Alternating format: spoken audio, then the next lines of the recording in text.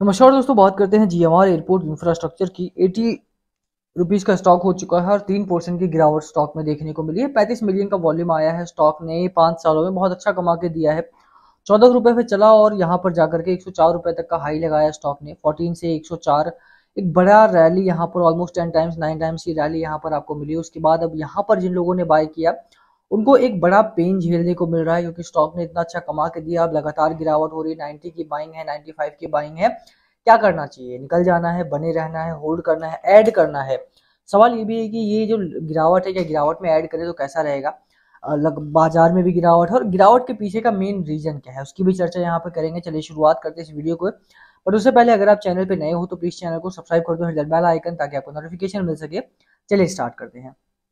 First of all बात करें जी हमारे एयरपोर्ट की, उससे पहले चर्चा करते हैं बाज़ार की, क्योंकि बाज़ार की गिरावट का सीधा असर इस स्टॉक के ऊपर है।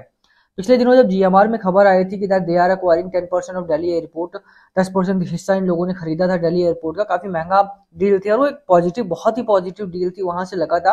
नाइन्टी टू रुपीज़ के आसपास स्टॉक उस समय ट्रेड कर रहा था, उस समय ही अगर आपने देखा हो तो बहुत सारे लोगों ने बाय भी करा था।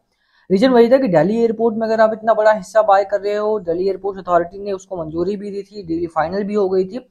उसके बाद एक बड़ी रैली की संभावना थी। बहुत सारे लोगों ने, बहुत सारे ब्रोकरेज हाउसेस ने 110 तक के शॉर्ट टर्म टारगेट भी वहाँ पर देना स्टार्ट किए थे। बट हुआ क्या? बाज़ार में गिरावट हुई बाज़ार की गिरावट का स्टॉक भी धीरे धीरे करके फिसलता चला गया और आज की तीन परसेंट की गिरावट के बाद ये अस्सी रुपए पर जाकर के सेटल हुआ है। तो करना क्या है यहाँ पर गिरावट के पीछे का रीजन क्या है? सबसे पहले वो चर्चा ज़रूरी है कि लगातार गिरावट के इंटरनल फैक्टर्स की वजह से आ रही है या एक्सटर्नली प्रॉब्लम है यहाँ पे? सबसे पहले रीजन तो यही है कि मार्केट में गिरावट है। मार्केट में फॉल है मार्केट में आज बड़ा फॉल रहा बाज़ार में। और अगर आप देखें तो थ्रू आउट द मार्केट गिरावट है। ऐसा नहीं कि किसी एक इंडेक्स में गिरावट है, किसी कुछ स्टॉक्स में गिरावट है रिज़ल्ट स्पेसिफिक गिरावट है, क्योंकि अब तक जो गिरावट हो रही थी वो रिज़ल्ट स्पेसिफिक थी।